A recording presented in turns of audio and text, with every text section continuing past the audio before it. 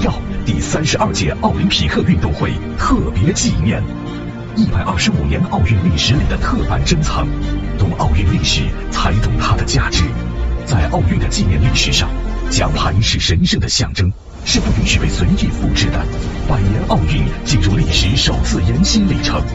特别发布东京二零二零年奥运会奖牌概念之特版珍藏，荣耀第三十二届奥林匹克运动会特别纪念。它的诞生有着特殊的历史意义。它以本届奥运会奖牌为原型，以金银铜材质各铸造一枚，以此铭刻历史，纪念庆祝中国代表团参加东京二零二零年奥运会，迈向全人类首次延期奥运，向当下的每个人，向世界传达保持强大的信念。